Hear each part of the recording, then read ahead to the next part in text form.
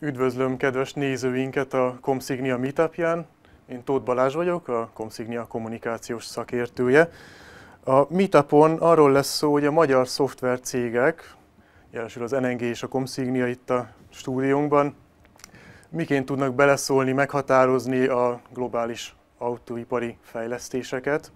Um, ingyen lehet kérdezni és nézni a műsorunkat, és most nagyon kedvezményesen két Andrást adunk egy áráért.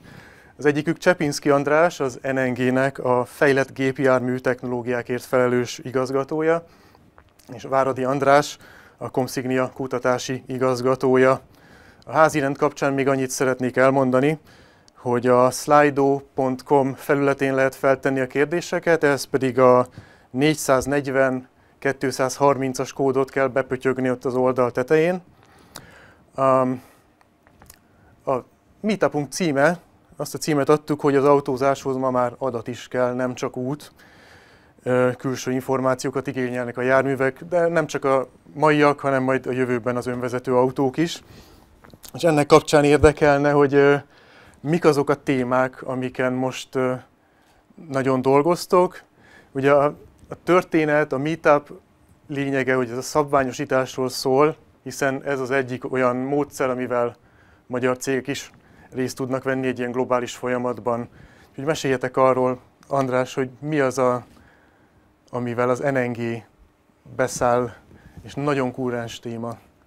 Alapvetően egyrészt üdvözlök mindenkit, legelőször is, és alapvetően az NNG-ről azt kell tudni, hogy a, a történelme során navigációs szoftverfejlesztő cégként indult, és mint ilyen meglehetősen jó ismeretekkel rendelkezik, térképekkel, különféle dinamikus információkkal, amelyek szükségesek ahhoz, hogy, hogy egy navigációs szoftver megfelelő ö, ö, ö, szolgáltatást tudjon nyújtani, úgy az autóban, mint akár egy okostelefonon.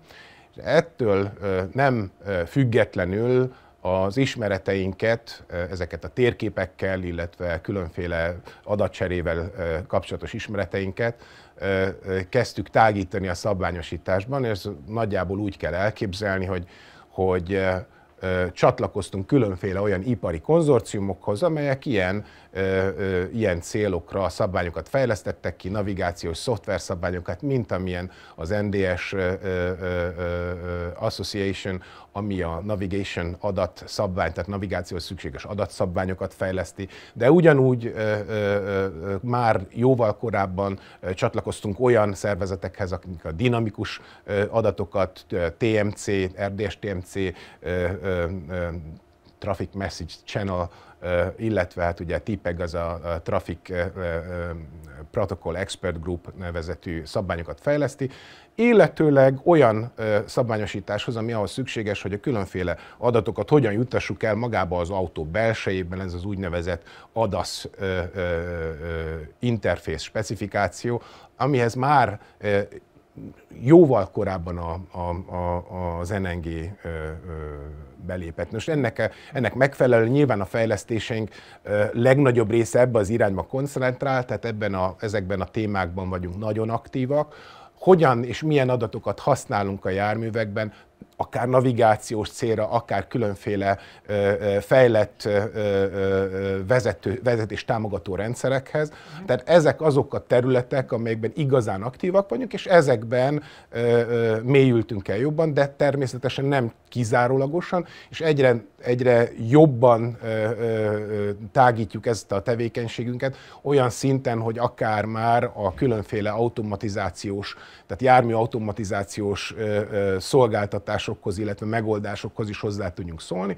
Innentől kezdve a HD térképtől kezdve a különféle, különféle fejlett, fejlett vezetéstámogatási rendszereknek a definiálásán keresztül mindenféle szabványosításban részt veszünk és ennek köszönhetően meglehetősen nagy tapasztalatot és meglehetősen sokrétű ismeretet szereztünk ezekben a, a munkákban, és ennek következtében gyakorlatilag most már elismert szakértői vagyunk számos, számos területnek.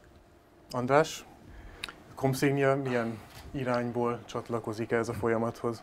Ugye erre tudjak válaszolni, hogy beszéljünk röviden a Comsigniáról, mi a, mi a tulajdonképpen az Andrásékat kiegészítve, vagy, vagy e, tehát mi jobban rákoncentrálva magára a közlekedésre, mi a Comsignia jármű kommunikációs megoldásokkal foglalkozik.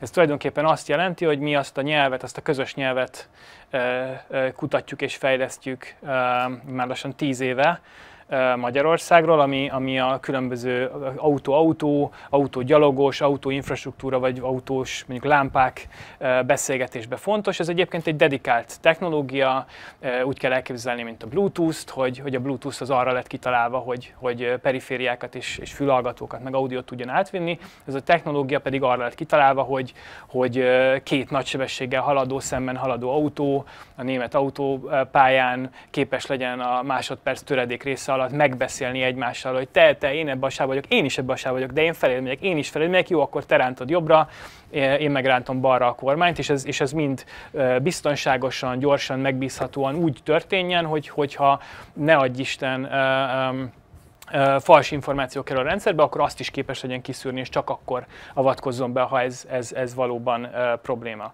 Most a legaktuálisabb ebben a, ezen a területen, Így. a mi szabványosításban most különösen jól pörög így van, így van, így van. Tehát, egy, ugye, tehát közös, nyelvet fejlesztünk, ezért nálunk egyébként a Comsignél alapvetően igazából onnan is onnan indultunk, hogy elkezdtük a szabványokat gyártani. Eleinte a Comsignia szabványkutatókból is állt, hiszen a közös nyelvhez az kell, hogy megegyezzünk az iparágakkal. Nem, nem jó az, hogyha az egyik autó e, csak a saját márkájával beszélget, közös nyelv kell, hogy csinálsz e, kooperációt szabványokkal. Tehát tulajdonképpen mi, vagyis hogy válaszoljuk a kérdésedre, mi globális cégként ugyanúgy, ahogy András, a közös, vagy a, a, a különböző régióknak a szabványügyi intézeteiben e, vagyunk jelen, főleg járműkommunikációban, és egyébként ezt három ilyen részre lehet osztani, mint első generáció, második és harmadik. Autók hol vannak, az autók miket látnak, illetve az autók merre akarnak menni, és hogy beszélik meg egymással az útvonalakat. És most valahol ennek a felénél vagyunk, uh, szenzorinformációs megosztás, illetve amit te is említettél, a, a, a, a, a a fals információk kiszűrésének a, a szabványos megoldása, hiszen nekem azt nem csak azt kell tudnom, hogy én kiszűröm ezeket az információkat, de ezt kénytelen vagyok szabványosan tenni, hiszen számítok a másikra, hogyha ő észrevesz valami hazugságot, akkor szól nekem, ez úgy szintén a közös nyelvnek az egyik uh, eszköze. Igen, igen, az világos, hogy közös nyelv nélkül ez, ez nem működne semmiképpen, de szerintem lépjünk egyet hátra, hogy a, hogyha esetleg laikusok is nézik a, az adásunkat, hogy mire jó a szabvány, meg, meg mi ez egyáltalán, csak hogy, hogyha esetleg bárkiben kételyek vannak, akkor azokat most oszlassuk el, mielőtt elkapcsol, hogy nem ért egy szót sem az egészből. Ugye, hát a, a szabványok, ugye ezzel kicsit, hogyha egy lépést hátra, akkor egy évszázadot, sőt egy másfél évszázadot is hátra kéne lépni. Ugye nagyon jól tudjuk azt, illetve beszéltünk róla korábban már, hogy a szabványok története magába hordozza, hogy miért van, miért van szükség szabványra, és ugye az első szabványok, azt tudjuk, hogy mik voltak, Tudom, beszéltünk róla a csavarok. A csavarok, és miért voltak szó? Mert ugye az ipari forradalom során, amikor eljutottunk arra a szintre, hogy már annyira specializálódtak a gyárak, hogy az egyik az anyacsavart, a másik az apacsavart készítette, akkor a kettőt, hogyha különböző valaki gyártja, akkor nem szabványos csavarmenettel nem tudták egymásba tekkerni innentől kezdve. Gyakorlatilag ez a szabványoknak a, az alap ö, ö, ö, felhasználása az úgynevezett interoperabilitást, az együttműködés, az alkotó elemek összekapcsolhatóságot, együtt használhatóságát hozza létre, és ezért van az, hogy például a kommunikációnál vegyük most egy, egyszerűen egy telefonos, egy mobiltelefont, ahhoz, hogyha azt szeretném, hogy az én telefonom működjön ugyanúgy Magyarországon, vagy, vagy Franciaországban, Oroszországban, vagy Japánban, az meg kellett egyezni az ipari szereplőknek abban, hogy milyen protokollon, milyen adatcsomagokkal, milyen szabványokkal és hogyan, hogyan, hogyan működjenek együtt, és ezt, ezt ugye egy, egy közös ö, ipari platformon megbeszélték, megegyeztek, lett egy konszenzus, és ez a konszenzus az alapja annak, amit most ugye mobil kommunikációnak hívunk a, a, tele, a távközlésben. Tehát. Gondolom, gondolom azért ezek már sokkal komplexebb szabványok. Pár éve volt, hogy egy autóipari szakértője derekához tartott kézzel mutatta, hogy hát, hogyha egy autót össze akarunk rakni, akkor nagyjából így a derekáig érne az a papírhalom, ami ami arról szól, hogy hogy kell összerakni egy autót. Most azok a ti területeken ez így mekkora extra paksaméta, még a, hogy nem tudom melyik őtök akar először válaszolni, hogy mik azok a, ami, mi az a papírmennyiség, ami össze lehet gyűjteni ezt a szaktudást, amit... Válaszol, aki válaszol. Válaszol, válaszol. Hát attól függ, ugye, hogy me- mekkora, mekkora szkópot vagy mekkora részét az autónak fedsz le. Egyébként most szerintem a mi termékeinknél ilyen sok-sok tíz szabványról beszélünk generációnként és akkor még nem is beszéltünk a profilokról, hiszen a szabvány az csak egy része, aztán még, még szükségünk van a, a, a, a profilra, és ezeket mind-mind lefedni egy szabványos üzlet, illetve még említeném a, az interop eventeket, ahol vannak a teszt szabványok, amiknek úgy szintén meg kell felelnünk. Igen, ezt nagyjából úgy kell elképzelni, hogy minden egyes területnek van egy műszaki bizottsága, vagy egy, egy munkacsoportja a különféle szabályosítási szervezetekben, és minden egyes munkacsoport egy 10 és 40, 10 és 100 szabály között termel élettartama során. Most azt kell látni, hogy egy szabvány az 10-től 5000 oldalig terjedhet, és hogyha azt nézzük, hogy a, a, a gépjárművekhez, azoknak kommunikáció, tehát mindent, amit egy gépjármű mellé a, a, lehet tenni, az nem a derekamig ér, hanem így meg tudok benne fulladni, hogyha ezeket kinyomtatnám, de természetesen ugye nem nyomtatjuk ki, tehát mi azért próbálunk nem kinyomtatni ilyen, ilyen szabványokat, hanem ezek te, nyilvánvalóan elektronikus formában léteznek, de hát rengeteg, tehát ez, ez, ez gyakorlatilag ahogy fejlődik a, a gépjárműipar, mert mind a ketten ugye gépjárműiparban dolgozunk, a gépjárműipar egyre több és egyre jobban és egyre inkább támaszkodik a különféle elektronikára, a szoftverekre, és minél több szoftver, minél több elektronika, minél több kommunikáció, annál több szabványra van szükség. És ugye gyakorlatilag míg az 50-es, 60-as években gyakorlatilag majdnem minden ö, nagyon egyszerű volt egy gépjárműben, addigra mostanra már csak a, a, a, az írott szoftverkód egy, egy gépjárműben több millió forráskód, uh-huh. sorforráskód. Tehát, tehát ezt azért látni Igen. kell. Említettétek közben ezt a kooperációt, és ez is egy izgalmas vetület ennek az egésznek, hogy itt, uh, itt rengeteg céggel kell együtt dolgozni. Gondolom így a naptáratok az tele van egyeztetésekkel, a különböző, csak egy autógyártók sorával meg lehetne tölteni egy hetet, vagy az összes bejegyzés, nem tudom. Igen, sőt, sőt hogy igazából, néz ki? Sőt, igazából érdekes is, mert ugye normális cégeknél, vagy más cégeknél a, a kompetitorok azok, azok ilyen távoli valamik, akik ilyen ellenségek, és, és, és ővelük versenyzünk. Itt tulajdonképpen, hogyha szabványosításról van szó, akkor a legközelebbi kollégáink, akikkel, akikkel ha jól tudunk együtt dolgozni, és, és támogatjuk egymást, akkor, akkor, akkor lesz szabvány, lesz termék. Ha pedig folyamatosan háborúzunk, akkor mind a ketten nagyon rosszul járunk, tehát kifejezetten jó kapcsolatba kell lenni a, a, a a, a, az gyakorlatilag az összes aktív kompetitorunknak a, a, a szakértőivel. Úgyhogy... Az ellenségekkel ültök egy asztalnál gyakorlatilag. Így, így van, és igazából akkor lesz valami általánosan a piacon elfogadott, ha minden piaci szereplő, ergo a kompetitoraink is, is le, elfogadják, és, és, és egy egységre jutunk. És könnyű egységre jutni? Pont a napokban ültem először a barátnőm kocsiában, és a, elindultam volna rükvercben, és így beraktam négyesbe, ahova, ahol én a rükvercet szoktam meg. Tehát, mint hogyha még egy ilyen egyszerű dologról se tudnának megállapodni az autógyártók, hogy akkor úgy hol legyen általában a rükverzió. Ez persze fogaskerék elrendezés kérdése, tehát hogy fel kellett kapcsolni a lámpát, és rögtön tudtam, hogy hogy fogok elindulni, de hogy, hogy egyébként így a ti területeken így, így könnyű megegyezni, vagy úgy oda kell csapni a, az asztalra, hogy, hogy átmenjen a, az elképzelés? Nagyon, nagyon sok mindentől függ. Vannak területek, ahol, ahol, ahol egyszerűbb és sokkal gyorsabban, úgy, úgy hívjuk, hogy konszenzus építés. De nagyon egyszerű konszenzust létrehozni, és nagyon egy irányban mennek a, a beszélgetések. Vannak olyan területek, amelyeken viszont teljesen különböző. Egy ilyen terület például a, a, a, a, a térképeknek a, a kérdése, ahol, ahol, ahol ez olyan szinten ment különböző irányba, hogy, hogy, hogy az ipari szereplők azt mondták, hogy ők, ők nem hajlandók ebben tovább részt venni, ez már 2000-es évek elején volt, és azt mondták, hogy akkor inkább mit csinálunk egy ipari konglomerátumot, egy, egy, egy ipari együttműködést, és, és ők létrehoztak egy saját térkép specifikációt, aminek már a NDS a neve, és, és egy ipari szabvány, ami ugye hogyha szigorúan vesszük, nem nemzetközi szabvány, nem európai szabvány, hanem egy úgy hívjuk, hogy de facto szabvány, ipari szabvány, ami nem ment keresztül azon a, azon a folyamaton, ami, a, ami a, akár a, a, az ISO-ban vagy a CEN-ben, ezekben a nemzetközi és európai szabványosítási szervezetekben van, ahol a különféle országok,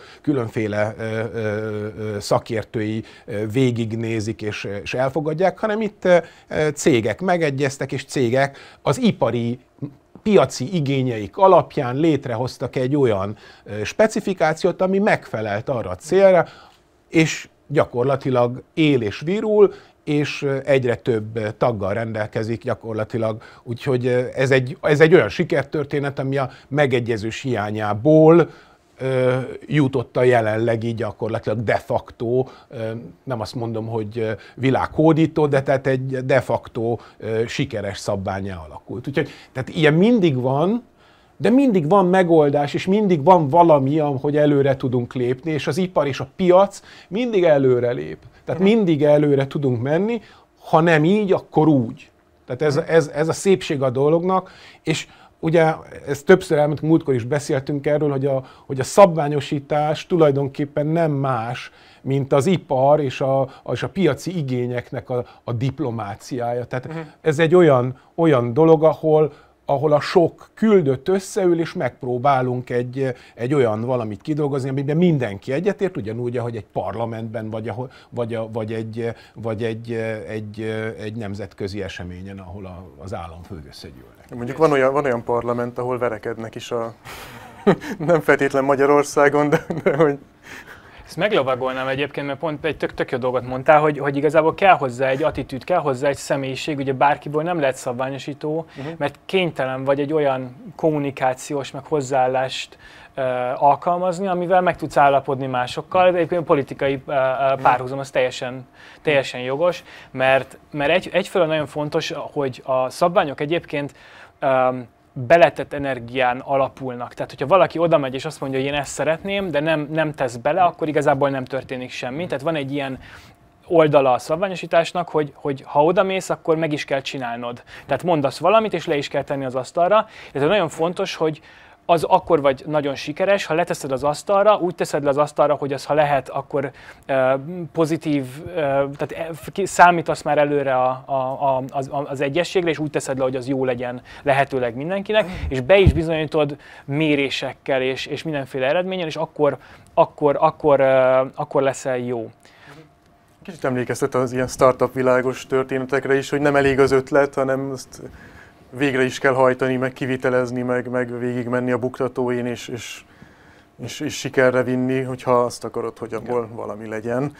Viszont, hogyha visszakanyarodunk oda még a, tényleg a, a, a meetup témájának arra részére, hogy ugye a magyar cégek szólnak bele a, a nagy folyamatokba, hogy, hogy teszem azt NNG-ben, Comsigniában, vagy bárhol kitalál egy magyar mérnöki csapat egy, egy tök jó ötletet, egy vívmányt, és azt el akarja vinni egy szabványosításig, ennek, ennek hát úgy mi a folyamata, hogy mi az életútja ennek a dolognak, hogy már részben érintettük, de hogy hát gondolom nem az van, hogy így, így 20-30 éves kölkök jönnek, és akkor, hát bocsánat, a 30 évesek, hozzám képest már kölkök, de, de hogy de, nem, valószínűleg nem egy egyszerű folyamat, hogyha amúgy is ennyi egyeztetést igényel. Tehát mikor hiszik el, hogy egyáltalán be, tehát mi az, amikor beengednek a klubba, hogy egyáltalán elmondhassd az ötleted, és utána, utána részt vehetsz a kivitelezésben? Hogy, hogy néz ez Alapvetően ki? a szabványosítás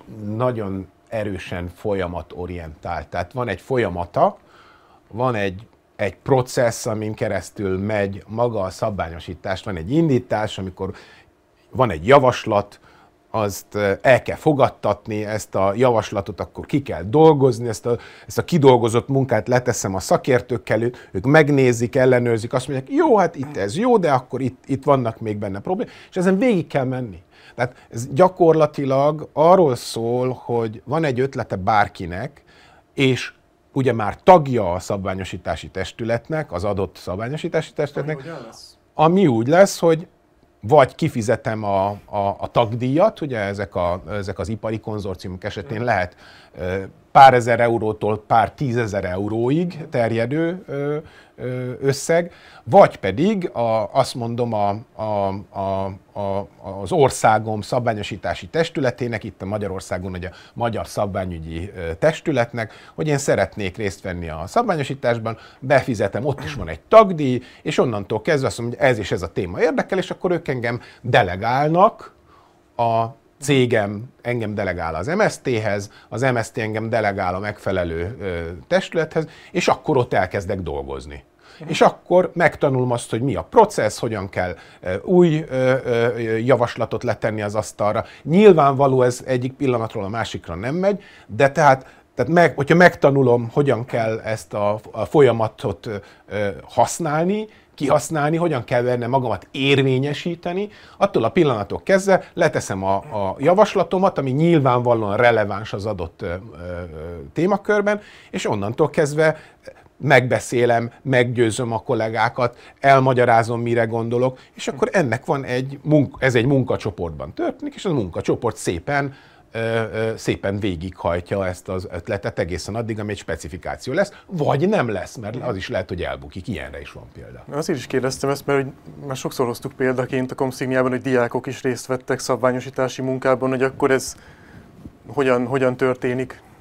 Um, igen, egyébként még hozzátenném, hogy egyébként a szabványosításnál ugye tud szavazatot is venni, tehát még van az a, az a dimenziója, amikor, amikor nem csak tagdíjat, hanem szavazatot is vásárolsz, úgyhogy tud, tud ez bonyolult lenni. És akkor vagy céget képviselsz, vagy ugye a Magyar Szabványi Testület esetén országot képviselsz, de erről majd még beszélgessünk, vagy beszélgethetünk.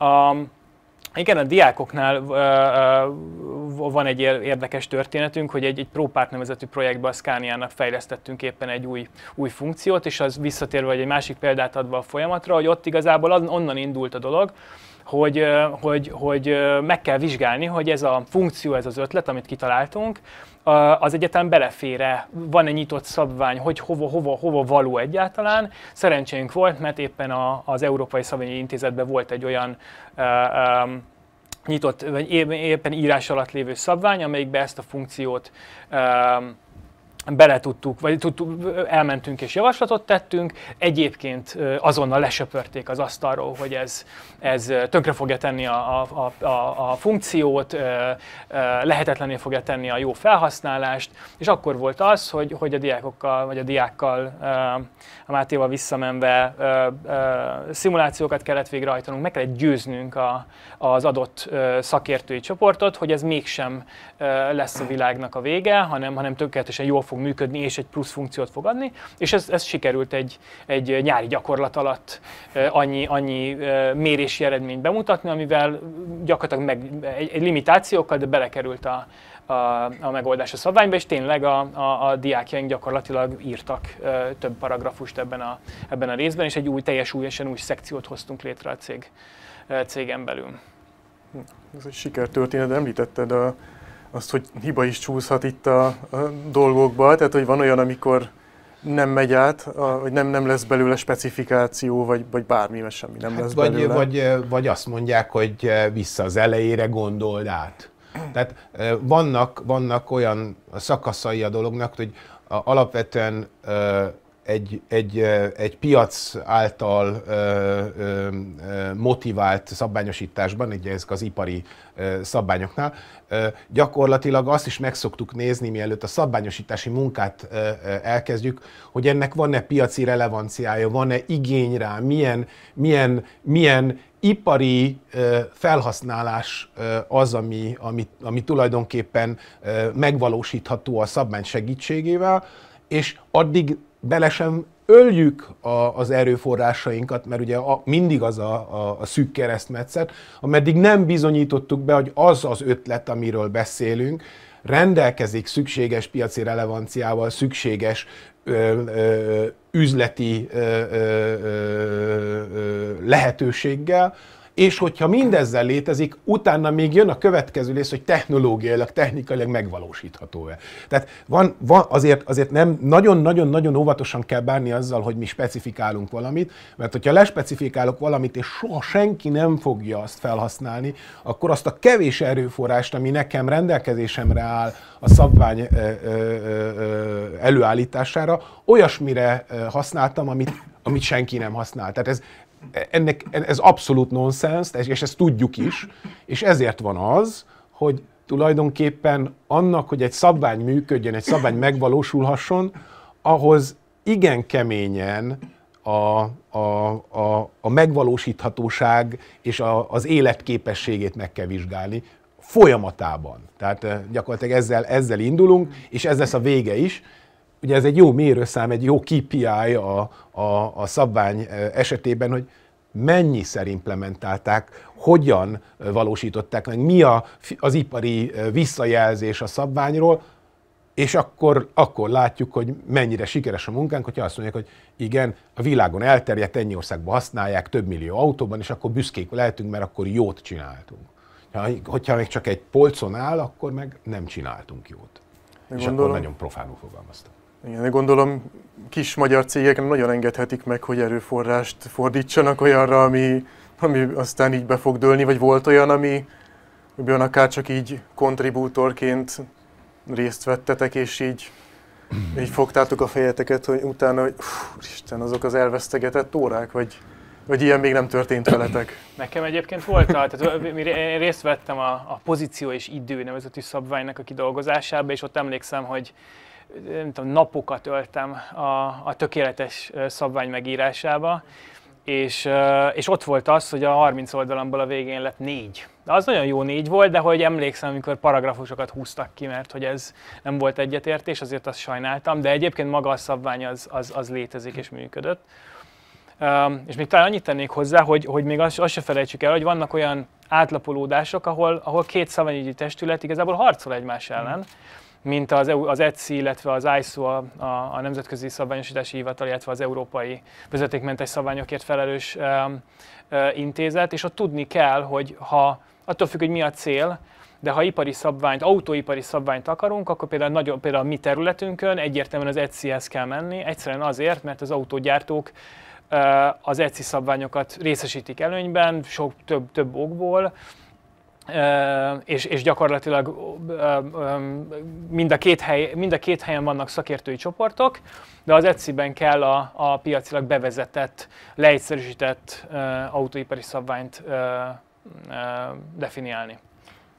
Annyiban pontosítanék, hogy igen, gyakorlatilag itt most a, a kooperatív rendszerekre, kooperatív rendszerekről van szó, de egy bizonyos része ezeknek a szabványoknál, és itt gondolok például a, az IVIM-re, meg ezekre, azok, azok, az, azok az ISO-ban, tehát a, a, a különféle rétegeknek azért van egy bizonyos megosztása, tehát van kommunikáció, bizonyos, bizonyos alsóbb rétegek között igen az a, az a csata volt, ami, ami, amiről András beszélt, de aztán egy, egy idő után aztán rájöttek, hogy jobb az együttműködés, mint a csata, és e, innentől kezdve van egy külön munkacsoport a, a, a, az ISO-ban, akik, akik azzal foglalkoznak, hogy az ECI-nek a szabványára ültetve különféle ilyen applikációs szintű vagy facility szintű szabványokat hozzanak lé, ugye, ugye az IVI, a, a, a, a, a, a SPETMAP, az mind onnan jön, tehát azok gyakorlatilag ott vannak. De tehát sok sok sikert nem hozott ez a, ez a, ez a, ez a, ez a versengés. Hát, hogy hozzátegyem, az András egyébként erősen izós, én pedig erősen ecis vagyok, hogy, hogy magyarázatot adjak erre a kommentbe. Hát, de jó tudni, hogy azért az ilyen szabványosításban nem szokás a verekedés, úgyhogy akkor nem, hát mi komple- vagyok. Úgy szoktuk mondani, hogy mi komplementerek vagyunk, van. kiegészítjük egymást, és éppen ez a jó az egészben, és ugye próbáljuk azt a, azt a, azt a szakadékot, ami kettőnk között, ugye a, a szabvány kompetenciák között van, próbáljuk meg áthidalni, és ezen rendszeresen dolgozunk, és, és azért ez egy, ez egy nagyon fontos része a tevékenységünknek, hogy, hogy nézzük meg, hogy hogyan tudjuk azt a lyukat, ami a kettő, kettő világ között van, egyre jobban betömni. Minél jobban be tudjuk azt lyukat tönni, annál tökéletesebb rendszereket fogunk tudni építeni. Tehát ez tapasztalat. Jó is, hogy mondod ezt a tökéletes rendszerek kulcs szót, mert a felkészülésen beszélgettünk arról, hogy nem mindig jönnek tökéletesen össze, mondjuk akár egy csoportban a szakértők, hogy, hogy a valamilyen szakértelem hiánya, hogy, a, hogy a nem térképész szemmel néztek, volt, meséltél egy ilyet, hogy nem térképész szemmel nézték a kereszteződéseket, és abból lettek kisebb galibák a, a valami szabványosítási folyamatban. Igen, tulajdonképpen ez egy roppant egyszerű történet, ez egy kooperatív rendszerekről szóló szabvány, ahol le kell írni egy, egy kereszteződést, és nyilván itt sávmodelleket, topológiát kell tudni eh, létrehozni, és leírni, és modellezni, és sajnálatos módon, amikor ezt a, a, a, a jármű kommunikációs szakértők leültek és létrehozták, ők úgy hozták ezt létre, hogy nem voltak igazán ismereteik arról, hogy hogyan kell egy, egy, egy fizikai valóságot lemodellezni megfelelő geográfiai és mi GIS, tehát ez geográfiai, informatikai leírását megcsinálni, és, ennek azért problémái vannak. Itt most az, hogy a, egy adatot rá tudjak helyezni egy térképre, akkor nem árt, hogyha meg, tud, meg tudom mondani, hogy mi, hol, merre, hogy, hogy, hogy helyezkedik el egyik a másikon, és jelen pillanatban a, egy digitális térképen meghatározott sávok, illetve ebben a dinamikus ö, SPAT map rendszerben definiált sávok nem igazán illeszkednek egymásra, és itt ez a diszkrepanciát próbáljuk meg föloldani, és ugye ez, ez egy már egy elég régi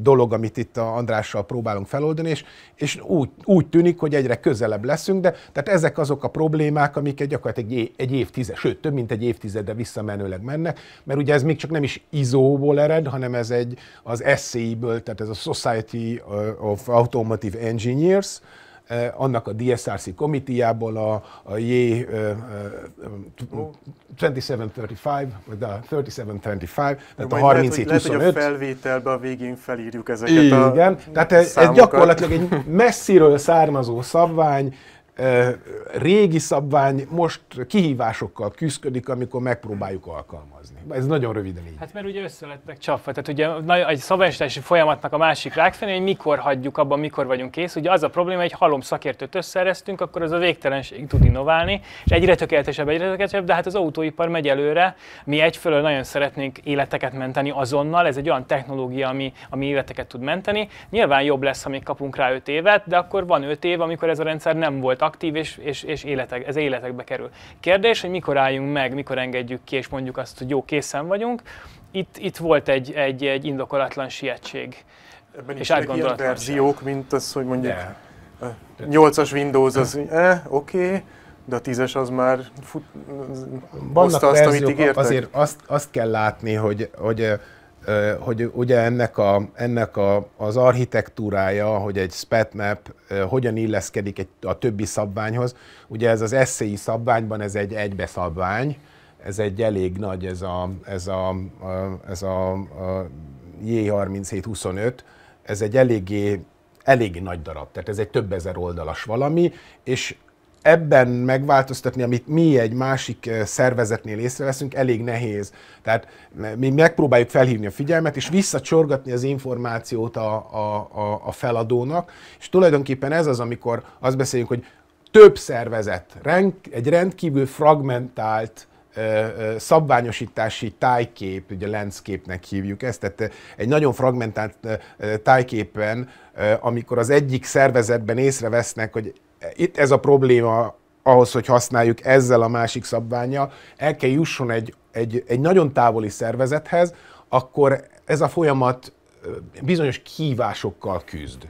De a kihívások ugye azért vannak, hogy mi ezeket megoldjuk, és ezeket próbálunk ugye kapcsolódási pontokat és együttműködéseket kialakítani, és ezek az együttműködések most kezdenek. Tehát az SCI az a szervezet, ami, ahol, ez, ahol ez történt annak idején, mostanra az ISO-val gyakorlatilag egy Memorandum of Understanding segítségével gyakorlatilag összeállt, és képesek közös projekteket hozni, ami, ami, ami közös projekteknek köszönhetően az együttműködés, a, a, az egymás szakértőben van megbízás, az, az, az most már létezik. Tehát a, a folyamat gyorsul, ahogy megismerjük egymást, ahogy megismerjük a, a, a, a, a, a szabványok közötti összefüggéseket, és a, a kommunikációnk megfelelő egymás felé. Tehát azt kell mondanom, hogy ez országok fölött álló szakemberek és szakterületek közötti együttműködést igényel. Tehát ez... És ez teljesen önszerveződő? Vagy pedig, mert nincs egy ilyen séma, ezek azért több évtizedes szervezetek, hanem évszázadosok, nem? Tehát, hogy nincs ilyen... Hát az ipar dönt, hogy mi, hol, mit használ föl, és akkor az ipari támogatás alapján kénytelenek szerveződni. Egyébként önszerveződő, illetve olyan emberek, mint mondjuk az András uh-huh. intézik azt el, hogy akkor most létrejöjjön, te kifejezetten aktív vagy azon uh-huh. a területen, hogy teljesen különböző uh, csoportokat harmonizálsz össze általában, mert gyakor, szerintem nálam, mint legalább kétszer-háromszor annyi komitiba vagy aktív. Mi próbálunk fókuszáltan a, a tárgyra térni, te viszont elég horizontális is vagy, és ugye itt, itt, itt tudod azt megcsinálni, hogy, hogy akkor elkezd beszélgetni az ember, és összehozza, és megmutatja, hogy, hogy hol van az értelme. Viszont visszautalva az előzőre, amit mondtál, hogy, hogy azért ne felejtsük el, hogy egy, egy autót nem dobsz olyan sebességgel, mint egy mobiltelefont, vagy bármi mást, illetve egy autónál lényeg lényegesen nagyobb probléma, hogyha mondjuk valami inkompatibilitás jelenik meg. Tehát, hogy az rendben hogy észreveszünk egy, egy hibát, vagy valami, de hogy nem nagyon lehet kiavítani egy, egy autónak a biztonságtechnikai szoftverét, nem, nem tudod rendesen lecserélni, illetve az sincs rendben, hogy egy 15 éves autónak mondjuk a biztonságtechnikai rendszer már használhatatlan. Ugye az ABS-re még mindig számítunk, a légzsákra még mindig számítunk, tehát ennek így kell működnie. És és azért az, az az alapvető feltételezés, hogy ha valamit most belerakunk egy autóba, az 20 év múlva is legyen ugyanolyan hasznos. Tehát azt, azt az autót is használni akarjuk ebbe, mm. arra az autóra is számítunk 20 év múlva. Tehát nem könnyű átállni egy régiről egy újra, ezt jól meg kell fontolni. Így van, tehát a, ugye a, itt az autóipar fejlesztési ciklusa egészen más, mint amit a, mondjuk egy, egy okos telefon, vagy akár csak a, a telekommunikációban megszoktunk. Tehát egy televízió, vagy egy, egy, egy, egy telefon, vagy egy, egy rádió, életciklusa, termékciklusa egészen különbözik attól, mint amit a gépjárműiparban, vagy, vagy, vagy a, a, a, a, a nehéz gépjárművek esetében, vagy, vagy az erőgépek esetében, ugye minden, tehát gyakorlatilag mi, mi, mi nekünk nem csak a, a gépjárművekre, hanem bármilyen ö, ö, ö, ö, eszközre gondolnunk kell, és itt akkor a combine-tól kezdve beszélhetünk egészen a kis mopedekig, bezárólag. Tehát azért azt kell látni, hogy itt, itt nem egy másfél-két éves fejlesztési és, és termékciklussal van szó, hanem egy gépjármű élettartama 15-20 év. Igen. És addig működnie kell, és addig elvárható, hogy jól működik, mert ha nem, akkor viszont a típusengedélyezéssel volt valami probléma, és akkor itt van az, hogy eljutunk arra a pontra, hogy a szabványok és a, a, a, a, a, a különféle jogi követelmények összeérnek, és kéz a kézbe mennek, mert ugye a szabványoknak való megfelelés és a közutakra való gépjármű kiengedése az, az, az bizony, hogy is mondjam, tehát az, az, az nagyon, nagyon, nagyon, hogy megfontolt kell, hogy legyen. Tehát a, a, a szabványok és a, a jogi keretrendszer az gyakorlatilag egymástól függ.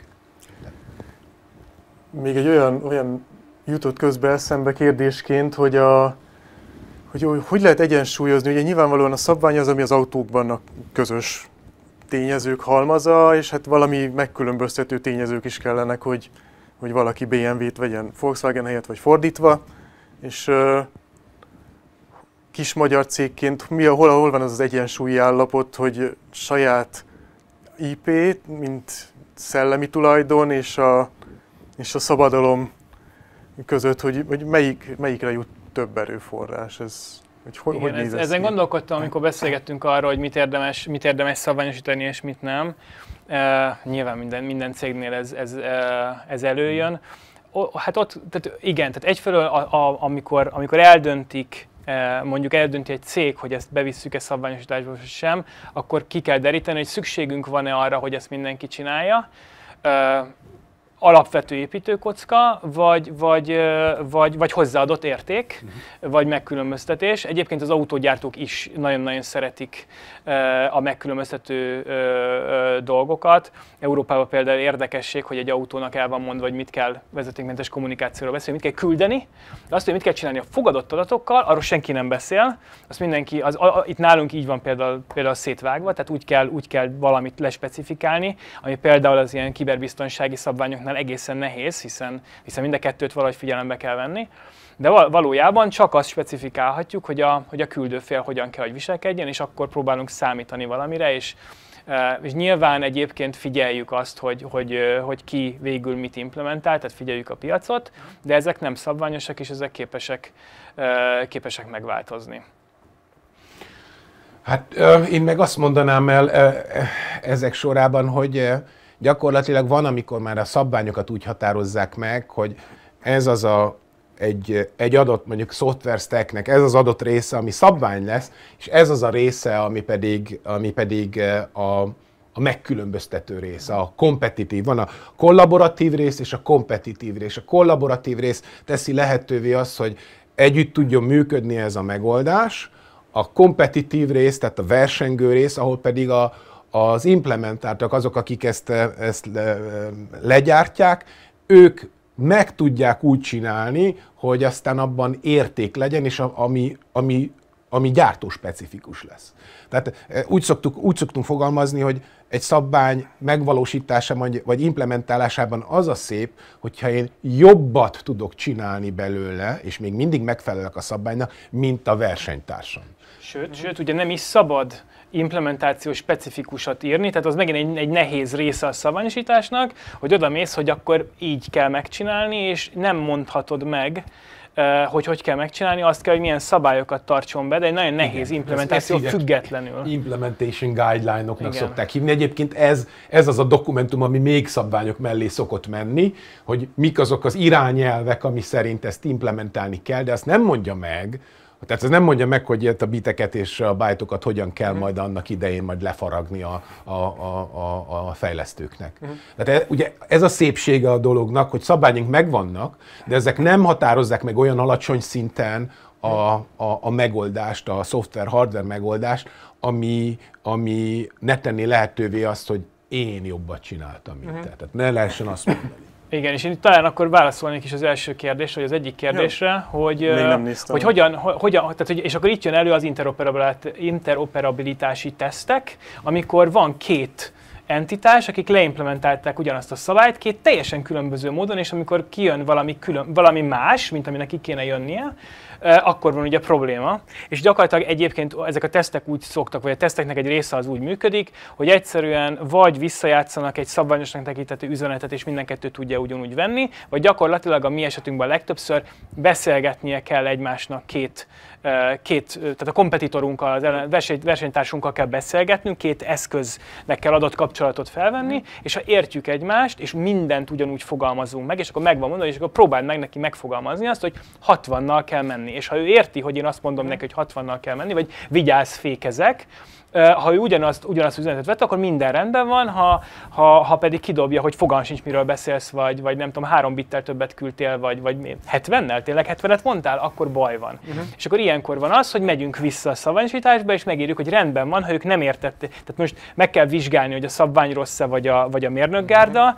Uh-huh. Nagyon sokszor a szabvány rossz, természetesen, főleg egy új szabványnál, és akkor visszamegyünk, és még további 60 darab oldalt hozzáírunk, hogy még véletlenül se lehessen félreérteni. Így van, ezeket ja. hívjuk plug teszteknek, plug teszteknek, ahol szó szerint összedugjuk a, a, mhm. a két versenytársnak az eszközeit, és megnézzük azt, amit András mondott, hogy, hogy igen, együtt működnek-e, megfelele a szabványnak az, amit az illető gyártók léteznek, és ennek van ugye a, a termék certifikáció, vagy szabvány szerinti certifikációs eljárások, amikor azt mondom, hogy a, az én termékem mert megfeleltetésre, vizsgálatra oda küldöm a, a, az adott szervezethez, és azt pedig azt fogja mondani, hogy ISO 19321 compliant, és akkor boldog vagyok, mert akkor tudom, hogy annak a szabványnak megfeleltem. Tehát ez, ez még egy ilyen úgynevezett certifikációs folyamat is hozzátartozik uh-huh. tulajdonképpen. Én azért is pedzegettem ezt a témát, most elrugaszkodva a kérdésektől, majd a végére, végén visszatérünk, illetve bemondom még egyszer, hogyha valaki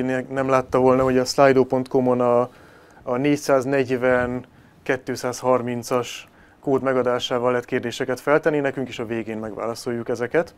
De térjünk vissza arra, hogy a szabvány, szabadalom témában az, üzlet hogy jön a képben. Pont a napokban, február elején volt egy ilyen hír, hogy a japán autógyártókat megtalált egy ilyen ö, szabadalmakat ö, kézben tartó szervezet, hogy akkor autónként 15 dollárt legyenek szívesek kipengetni, mert és pont egy távközlési cégeket, Qualcommot, Nokia-t, ilyesmi, Ericssonokat mm. képviselő szervezet, megjelent előttük a japán autógyártók előtt, hogy hát akkor fizessetek, hogy hogy lehet az, hogy autógyártóként akkor egy, egy, egy nem szabványos megoldást építettek be, és utólag kiderül, hogy hups, itt szabadalmak vannak, le van védve a technológia.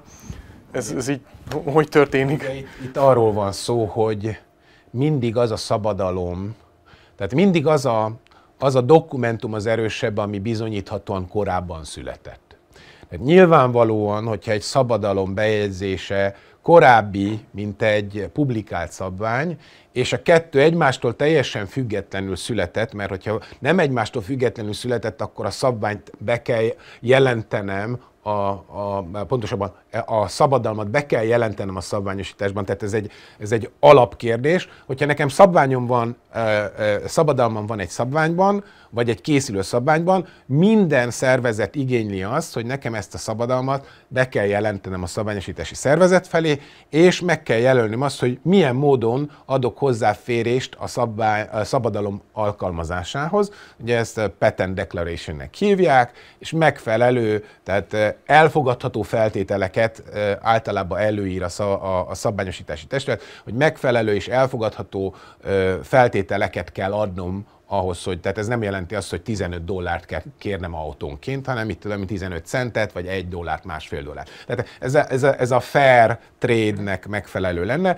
Hogyha teljesen független volt a kettő egymástól, akkor nyilvánvalóan a, a korábban beregisztrált, publikált dokumentum lesz az erősebb. Tehát, hogyha van egy szabadalma egy cégnek, vagy egy cég, egy, egy, egy eh, konglomerátum, egy ipari konglomerátumnak, akkor ez a szabadalom erősebb lesz a szabványnál, és hiába van szabványom, ha a jogvédett szabadalmam az, az, az, az, az csorbát szerved. Ilyenkor minden bíróság azt fogja mondani, hogy uraim, önök nem végezték körültekintően munkájukat, nem vették figyelembe, hogy egy ilyen szab, szabadalom létezett, ezért önök bizony fizet, önöknek fizetniük kell. Tehát... És a szabványnak a publikációja számít, vagy az első ilyen, ilyen draft, amikor már úgy összeállt nagyjából a kép? Tehát, hogy azért van ebben egy játék. Hogy ne, hogy... hogy ne lenne, tehát persze, tehát ja. ugye egy, egy, egy szabadalom is, tehát amikor, amikor regisztrálom a szabadalmat, akkor az, az, az a végleges formáját akkor nyeri el, amikor publikációra kerül az is. Tehát az is, ott is van egy folyamat, amin keresztül megy, és, és a, ugyanez igaz a, a, a szabványokra is. És mindenkor ugye a, a, a, az előzetesség, ami előbb regisztrálásra került, és bizonyítható, hogy korábbi az ötlet, és az ötlet független a, a, a szabványtól, akkor az ötlet, ha jogi védelmet élvez, mint szabadalom, akkor az bizony-bizony nem, de az nem védhető. Nem kell végleges szabványnak lennie, hogy annyi a lényeg, hogy maga az ötletnek publikálva kell lennie. Ha ez az uh-huh. ötlet publikálva lett még akár egy draft szabvány Igen. írása közben, akkor az már előbb született. Így van. Így van. Tehát, tehát ugye ez, ezért mondom, a jog és a szabványok magát, a, a, a különféle ö, ö, IPR, tehát Intellectual Property Right, ezek, ezek a szabványok, a szabványosításnak egy nagyon fontos részét képezik, ezért a szabványok, a szabványosított testületek igencsak megnézik a, azokat a témákat, amiket ők szabványosítanak, hogy van-e valahol jogi védelem uh-huh. valami olyan dolog iránt, hogy pontosan ne essenek egy ilyen, egy ilyen csapdába. Vannak az úgynevezett patent trollok, akik kifejezetten utaznak ilyesmire, de amit te elmondtál, az, az inkább az, az, hogy egy, van egy független, független ipari konglomerátum, aki, aki dolgozott ilyen dolgokon, és volt egy szabványosító testület, aki meg nem végezte el a házi feladatát, és nem nézett körül, hogy milyen szabadalmak léteznek, és nem, vette föl a megfelelő kapcsolatot. Mhm. Viszont, viszont feladat, hogy, hogy megpróbálja elkerülni a szabadalmasított megoldást. Így van. Tehát, hogyha valaki egy ilyen állítást tesz, hogy itt ez alatt van szabadalom, vagy találnak rá szabadalmat, akkor feladata annak az, a szakértői gárdának egy alternatív megoldást találnia, mm. vagy ugye megállapodni egy, egy korrekt összegben, de szerintem az összegtől függetlenül egyébként kell találni egy inkább ingyenes megoldást, ha ez mhm. nem sikerül, akkor akkor vannak az alternatívák, és ha jól emlékszem, akkor nem lehet kötelezővé tenni, tehát a szabványoknak is van kötelező, meg, meg opcionális része, és akkor például opcionálissá kell tenni, hogy, hogy ne kelljen kötelezően minden, például egy jármű vagy szabványnál minden járműben nem, nem tehát kötelezően bele kell rakni, az egy, mm. nyilván egy nagyon jó vin egy, egy patent tulajdonosnak de komoly, viszont cserébe komolyan blokkolja egyébként az ipart, tehát hogy nyilván mm. vigyázni kell rá, mert, mert az, ez, egy, ez egy komoly blokkoló folyamata lehet. És ugye beszéltünk arról, hogy vannak olyan szabványok, amiket nem is nem használnak, illetve nem implementáltak. Van, amikor azért nem, mert pontosan egy ilyen, egy ilyen szabadalom került bele, amiért egy olyan összeget kérnek, ami a, szabadalom, ami a szabvány implementálása után a termék üzleti sikerét, hogy is mondjam, ellehetetleníti. Uh-huh. Tehát gyakorlatilag nem lesz, nem, lesz, nem lesz üzletileg megtérülő az a, az a termék, amiben ez a szabály belekerül. Uh-huh. És akkor ezt mindenféle részlet nélkül ezt így el kell fogadni, hogy ez sajnos előfordul. Egyébként így, így magyar cégként, globális szinten azért viszonylag kicsiknek, szá, kicsinek számít az NNG és a Comsignia is, létszámra legalábbis. Uh, hogyha, hogyha akkor ezek szerint, hogyha elég hangos, kicsi, de elég hangos, mint a csivavák, akkor akkor azért meg tudja védeni magát, tehát hogy elég sokat beszél arról, az ötleteiről, akkor ezzel is meg tudja, valamilyen védelmet tud. Aktívabb a szabványosításban, kiteszi az, az ötleteit, ez, ez kellő védelmet nyújt a... Nem a méret a lényeg. Tehát itt, itt, itt, a, itt a, a, az, amit András, meg amit a két cég képvisel, az az, hogy okos emberek ülnek benne. Ha okos emberek ülnek cégekben, akkor az nem azt mondom, hogy implikálja, de lehetővé teszi azt, hogy tudjanak érvényesülni ezekben az amúgy nagyon okos embereket tömörítő szervezetekben, és ad abszurdum az érdekeiket érvényesítve olyan, olyan javaslatokat tegyenek, ami a, a, a, a saját cég érdekeit képviseli, és akkor gyakorlatilag így lesz pénz tulajdonképpen a, abból, hogy mi szabványokat csinálunk, mert a mi érdekeinket, a mi ö, üzleti ö, ö, üzleti tervünket, vagy üzleti céljainkat bele tudjuk tenni, mhm. mert hogyha nem is, nem, nem mondjuk ki, hogy beletettük, de tehát implicite ott van benne, hogy amit szeretnénk csinálni, az belekerült egy szabványba, és mi nekünk ezáltal ö, ö, előnyünk lesz, mert mi már tudjuk implementálni. Uh-huh. Olyan szabványokat csinálunk, amilyen termékeket is gyártunk, és fordítva, és egyébként ez akkor válasz is arra a kérdésre, hogy így lesz pénz. Nekünk az az érdekünk, hogy minél jobban elterjednek azok a megoldások, amikkel mi dolgozunk. Rengeteg autógyártó gyárt járműkommunikációs megoldásokat, és akkor nyilván ezekből a rengeteg autógyártóból, ha ez elindul, ez a, ez a piaci folyamat, akkor rengeteg vevőnk lesz, és visszahozza. Közben már én is elkezdtem puskázni, mert akkor szerintem egyébként a, a, a tervezett részen már túljutottunk, amit, amit megbeszéltük, hogy milyen kérdéseken akarunk mindenképpen végigmenni, de elég sok kérdés érkezett a, a közönségből is, és mindenkit bátorítok arra, hogy még nyugodtan tegyen föl, mert itt vagyunk és tudunk válaszolni. Az első a legkönnyebb. Igen. Igen ezt, Szerintem ezt csinált. De azért olvas, felolvasom, hogy attól, hogy itt Magyarországon elfogadnak egy szabványt, hogy lesz az, hogy az egész iparág és más országokban is használja azt. Tehát akkor ez a... Igazából a megoldás az, hogy ne, ugye nem magyarországi szabványokat írunk, hanem, hanem európaiakat, vagy globálisakat, vagy amerikaiakat, vagy kínaiakat. Mm. Um, és tulajdonképpen ez azt, tehát hogy, hogy, hogy a Magyar Szabványi Testület delegál minket, de egy nemzetközi uh, részbe. Ugye egyikünk sem olyan iparágban dolgozik, ahol, ahol igazából lenne értelme magyar szabványt csinálni. Igazából mi egyébként, ha már magyar szabványokról beszélünk, ugye azért felelünk, hogy amikor bevezetik Magyarországon ezeket az egyébként globálisan megcsinált szabványokat, akkor mi ellenőrizzük azt, hogy az, az passzoljon, meg a fordításokban uh-huh. szoktunk segíteni, mert mind a ketten egyébként a Magyarországi Szabványi Testület 9-11-es munkacsoportjában elég aktívak vagyunk az intelligens közlekedési rendszerekben.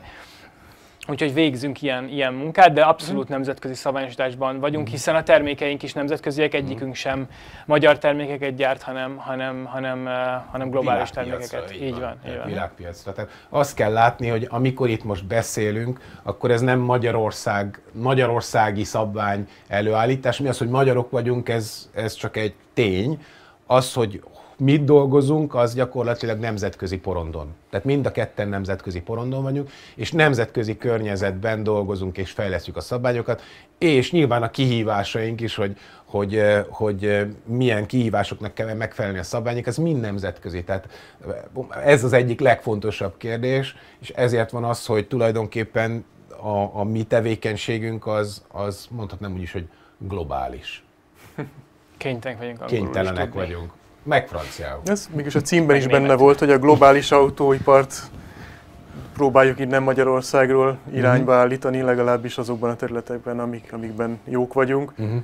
Nézzük például a cyber security, a kiberbiztonság területét, hogy ott a kockázatkezelés hogyan, hogyan viszonyul a típusengedélyezéshez. Ugye a kérdés pontosan így hangzik, hogy cyber security kockázatot hogyan lehet kezelni, a típusengedélyezés nem tud felkészülni a később kiderülő kockázatok kezelésére. A jó hír az az, hogy erre is készülnek szabványok. Hát a kiberbiztonságához van egy, van egy külön uh, uh, albizottsága a, a, az egyes, az ISO 1-es közös munkacsoportjának az ISO és AIC, IEC egyes közös munkabizottságának, technikai bizottságának, és ez pedig, ha jól emlékszem, a, a 32-es, a 32-es albizottság. Tehát van a kiberbiztonságnak egy, egy, egy saját csoportja, elég nagy csoport, és van az autógyártóknak, és ez a 22-es műszaki bizottságnak van egy, egy, egy albizottság, ami szintén a kiberbiztonság, de az automotív kiberbiztonsággal foglalkozik, és ők készítenek, folyamatban van egy szabvány, ami a Cyber Security Guideline-nokkal foglalkozik, a, a, a, a, a, a gyártás során,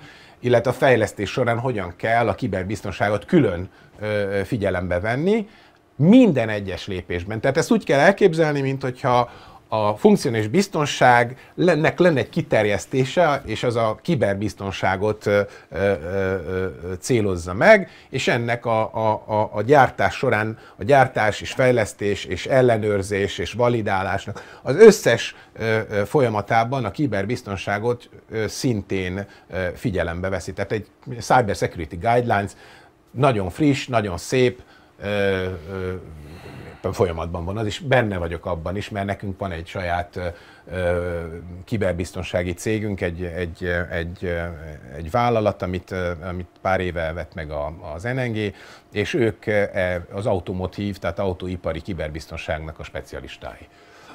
És egyébként, akkor már hozzátenném, hogy egyébként, hogy a, másik oldalt is elmondjam, egyébként a kvantum számítógépekkel, hogy a negatív részét mondjam, látjuk előre, hogy itt, itt mindenképpen baj lesz, tehát amit ma gyártunk, azt holnap föl lehet törni, ez, ez így kb. szerintem, tehát hogy e, erre fel kell készülni.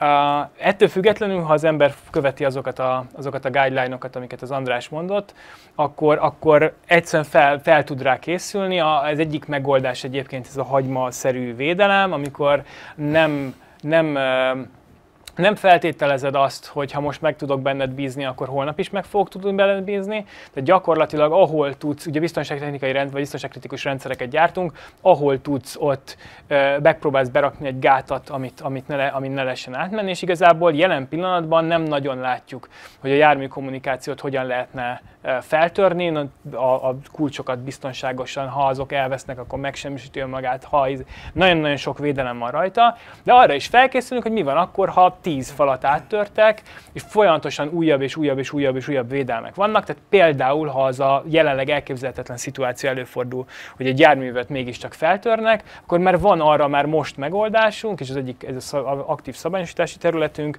hogy, hogy az autók önszerveződően kivonják azt az autót, akit feltörtek, ezt észre lehet venni, illetve most már tudjuk, hogy hogy kell ezeket, hogy lehet észrevenni, kutatjuk az algoritmusokat, és hogyha észrevettünk egy ilyen autót, akkor gyakorlatilag kívülről megakadályozzuk, hogy ő valaha is bárki mással tudjon beszélni, egyszerűen eltávolítjuk a hozzáférési jogát. De mondom, a, még a te megelőző feltételezések sem lehetségesek ma, de ugye erre fel kell tudni készülni. Hát igen, még alig van olyan jármű az utakon, ami, ami tudna kommunikálni más járművekkel, talán a Golf 8 meg a többi ID-s autó most az egyetlen mm. olyan, ami, ami képes erre, de, de már akkor készül az a szabvány, hogy hogyan, hogyan szedjék ki a, a jövő feltört, vagy esetleg meghekkelni próbált járműveit a forgalomból. Vagy nem is a forgalomból, csak a kommunikációból. Igen, tehát azért igen. több vektora van a, a kiberbiztonságnak, és ebből a kooperatív rendszer, kooperatív kommunikáció csak az egyik, és ezen kívül még rengeteg támadási vektor létezik, ahol nyilvánvalóan be lehet jutni egy, egy, egy, egy gépkocsiba, most ugye ez az, ami, ami, ami, amit, amit, amit jelen pillanatban is kutatnak, és amin, amin megy a, a, a munka, és ugye ehhez nem szervesen, de kapcsolódik ugye a mesterséges intelligenciával kapcsolatos szabványosítás, ami szintén két, két és fél évvel ezelőtt, már lehet, hogy már három évvel ezelőtt kezdődött el, igen, 2019-ben, és gyakorlatilag most másfél, másfél éve jött létre az a, az a, a, az a csoport az intelligens közlekedési rendszerek szabványosításán belül, ami, ami a mesterséges intelligenciát, illetve a kiberbiztonságot próbálja meg összekötni ezzel a speciális területtel. Tehát azt kell, hogy mondanom, hogy ez egy folyamat, ez egy olyan folyamat, ami folyamatosan folyamatosan próbálja követni azokat a trendeket, ugye itt szó volt a, a, a kvantum rezisztenciáról, tehát a, a, a kvantum számítógépek belépéről és a, a, a, a posztkvantum problémákról. E, ezek folyamatosan, folyamatosan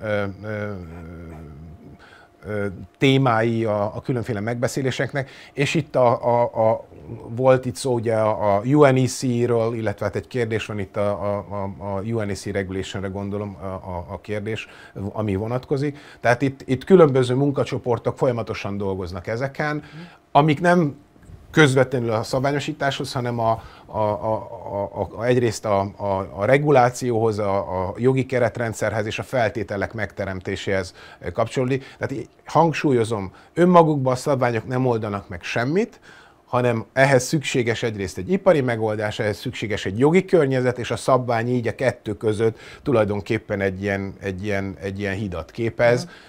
Önmagában egy szabvány nem old meg semmit, és önmagában egy, egy szabvány jelen idő nem feltétlenül tud mindent figyelembe venni, amit a, a, a jövő hoz, de ezek mind témáját képezik jelenleg még pre, mi ugye, pre-szabványosítási folyamatoknak, amik jelen pillanatban még még eh, nem létező műszaki bizottságok megalakulását eh, eh, hozhatják létre, uh-huh. nem, nem létező munkacsoportok, nem létező szabványokat hoznak majd létre a későbbiekben. Ez egy folyamat. Hát ez eddig is így volt, hogy ti is létrehoztatok, vagy, vagy beléptetek olyan újonnan alakuló csoportokba, uh-huh. amikről 5 vagy 10 éve, vagy 15 éve még szó se volt, vagy még fel sem merült, hogy ezek valaha létrejönnek, vagy uh-huh. lehet, hogy csak így a gondolkodás uh-huh. ment róla menjünk tovább még, hogy, hogy, mert ezt Akkor ezek szerint ezt, a, ezt az ENSZ-es regulation ezt is lefettük, ezt a kérdést? Nem, vagy? nem biztos, mert tehát én a, a, ugye a UNEC Working Party, a 29-es és az egyes, ugye az egyik a, a, a, a, a biztonság, illetve a, a, a másik pedig a, a, tehát a típusengedélyezésről szól. Hogyha erre vonatkozik a kérdés, akkor ugye a UNEC egyéb, egyébként a, a, a, az Egyesült Nemzetek, tehát a, a UNEC, az a UN, Egyesült Nemzetek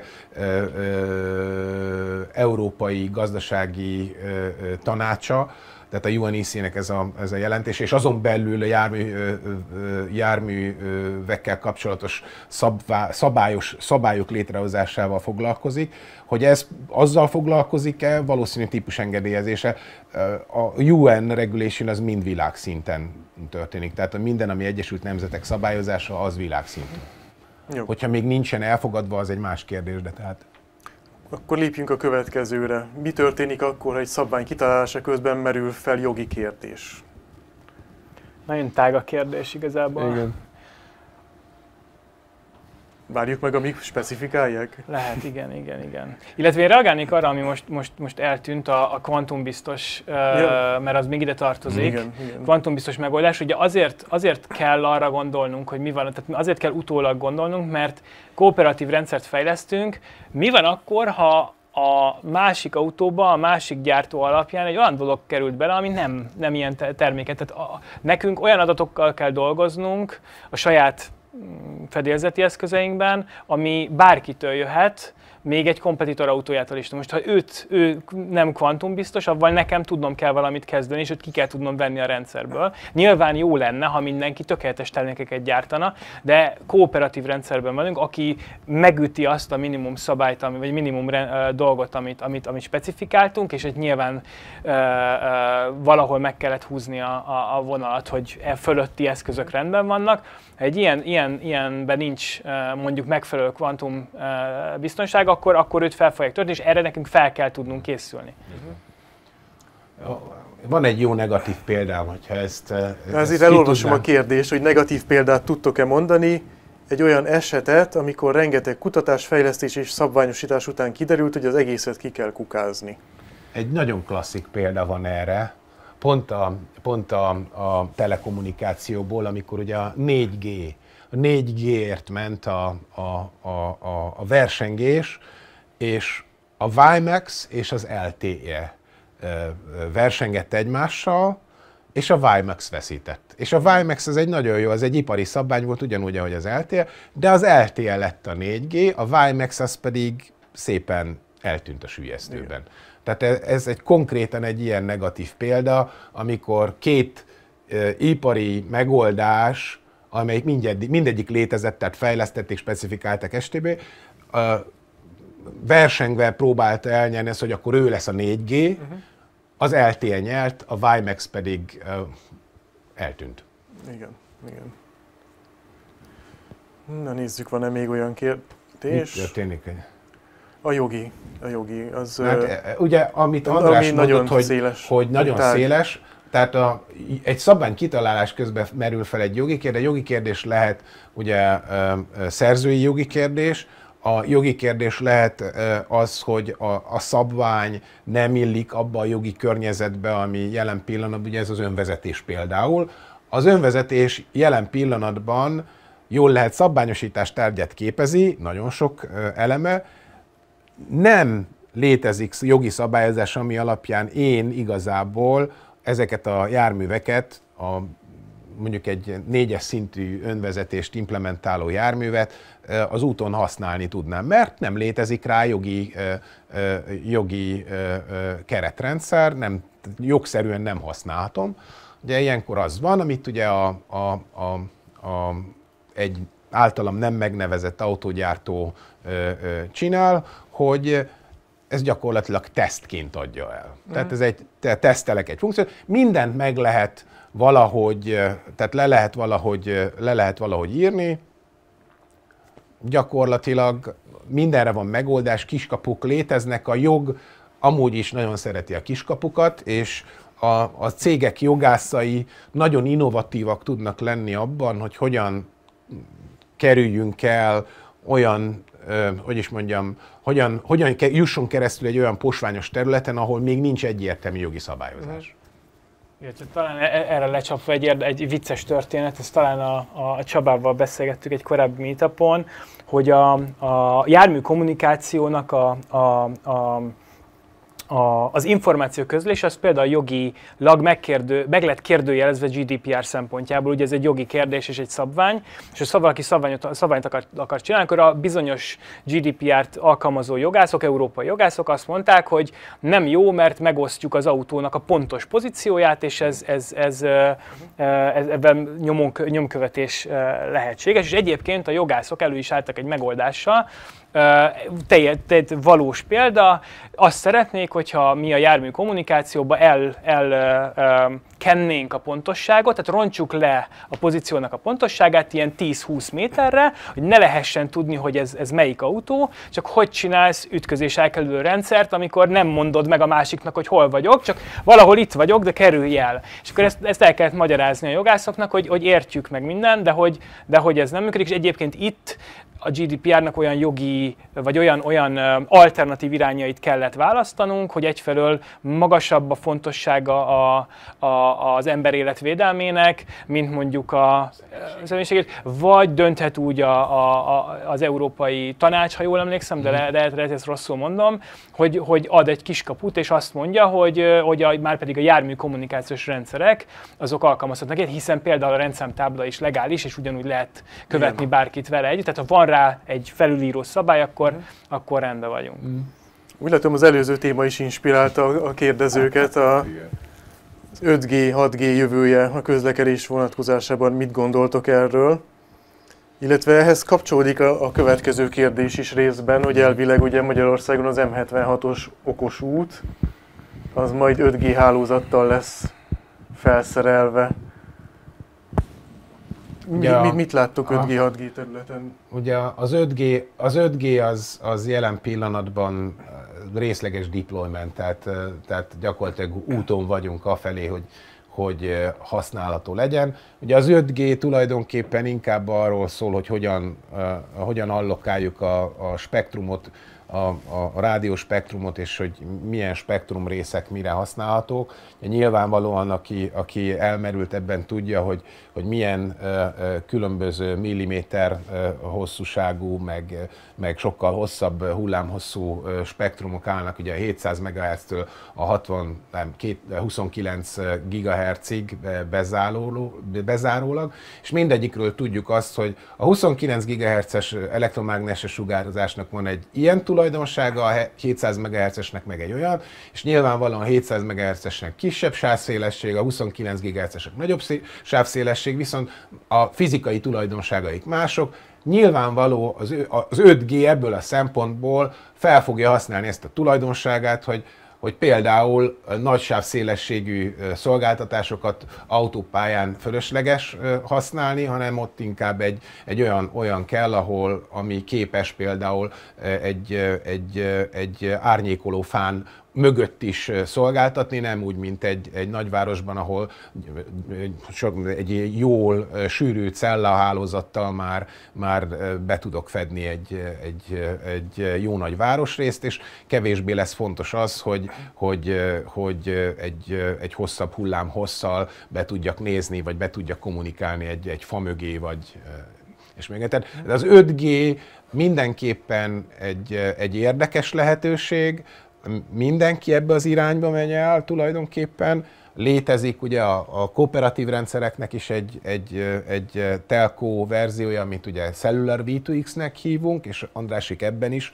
ugyanott vannak, tehát ugyanúgy ez a kooperatív rendszerekre is vonatkozik, ahol, ahol, ahol, ahol, ahol András aktív, és ugye nekünk is nagyon, nagyon hasznos, ugye egy, egy nagy sávszélesség, térképadatok, pillanatok alatt történő letöltése, és ö, ö, alacsony ö, látenciával történő kommunikáció, mindez, mindez a jövő. Tehát ez, ez a mi irányába megyünk.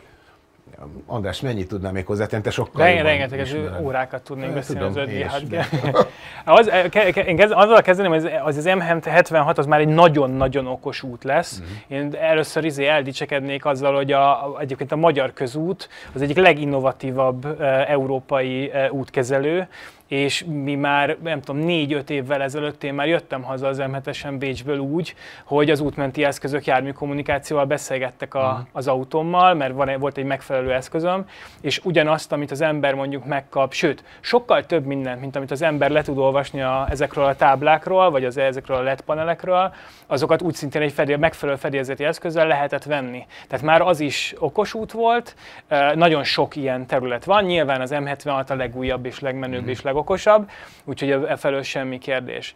A, illetve hát igazából meglovagolnám azt, amit te is mondtál a 4G, 5G, 6G oldalról, már a 4G az LTE, jármű, LTE V2X-el vagy LTE-vel mm. tud járműkommunikációt, uh, és igazából ahogy jönnek a generációk, ugye fejlőd, fejlődik a sávszélesség, amit te is, te is mondtál, és igazából amit erre tudok mondani, hogy ahogy egyre okosabbak lesznek a, a, a vezetésasszisztencia rendszerek, vagy az önveze, a előzetes önvezető rendszerek, úgy egyre több, egyre jobb minőségű adatra van szüksége. Ahhoz, hogy nagy sebességgel, nagyon közel egymáshoz, ugye azért, hogy az út az, az maximálisan ki legyen használva, ahhoz folyamatosan streamelni kell például tőletek a HD térképet minél gyorsabban, tőlünk azt, hogy a többi autó hol van és mit csinál, és ezt minél gyorsabban, minél jobban beszélik meg, annál optimálisabb lesz, annál gyorsabb gyorsan jutunk el A pontból B pontba, viszont ahhoz egyre jobb minőségű, egyre nagyobb sávszélesség kell, és ez az, amit a 5G, 6G, 7G folyamatosan szállít, ahogy, ahogy az iparág többi szereplője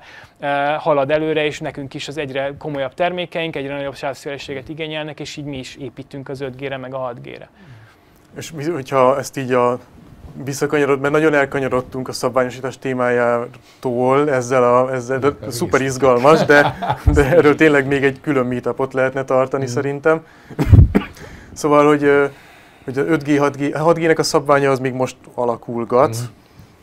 Ezekbe is részt tud venni egy NNG komszignia, vagy ez, ez, ez egy nagyon más Ugye terület? A, a, szab, a szabványosítás az alapvetően önkéntes, ezért nem fizet senki, hanem a cég, és nyilvánvalóan a cég cégeink azok, azok oda delegálják a szakértőiket, ami azért releváns számukra. Most egy telekommunikációs protokoll fejlesztése, mint amilyen a, az 5G, 6G, ez, ez az LNG szempontjából kevésbé releváns, mint például az, hogy milyen térkép, milyen, mm. milyen, milyen dinamikus és egyéb adattal tudom ellátni a, az eszközeinket, és neked, nektek talán sokkal relevánsabb. Hát mert... Mit csináljuk? Ugye, tehát a, ugye, ég, tehát a, a 3GPP ugye a, a, a, a 5G-nek, a 6G-nek a szavai hivatala, vagy központi hivatala, ez egy orbitális monstrum. Mi hmm. azt csináljuk egyébként, hogy összeálltak csak az autóipari beszállítók, 5G Automotive Association-nek hívják, 5GA, egy globális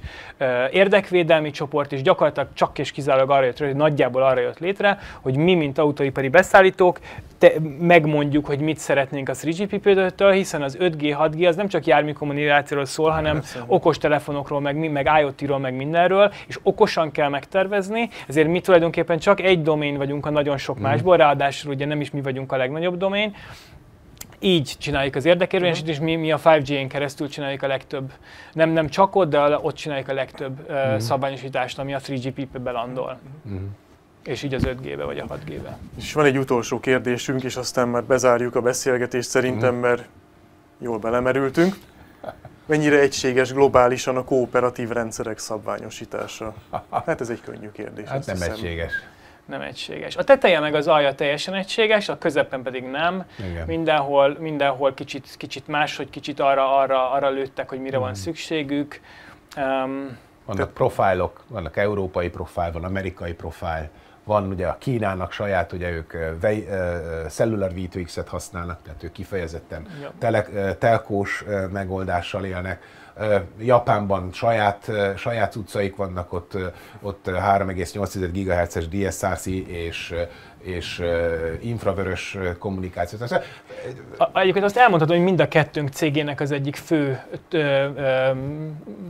üzenete az az, hogy mi harmonizáljuk, tehát uh-huh. hogyha az ember velünk áll kapcsolatba, akkor mi egy globális Igen. szabványfüggetlen megoldást tudunk adni. Tehát mi, a mi problémánk az, hogy különböző szabványok vannak a különböző Igen. régiókban, ha velünk dolgozik valaki, akkor a, vagy a térképadatokat, vagy, vagy a járműkommunikációs adatokat egy, egy általános interfészen kapja meg, és, és mi, mi felelünk azért, hogy teljesen egyformán nézzen ki. Így van. Tehát és ugye itt azt is látni kell, hogy mi együtt is dolgozunk annyiban, hogy, hogy, hogy ez tulajdonképpen az értelmezés szempontjából, a gépjárműben történő értelmezés szempontjából megfelelő lehessen, tehát eljutassuk a, az Andrásék által ö, ö, begyűjtött információkat vagy a, a, a, a felhasználó elé, vagy pedig a gépjármű belsejébe.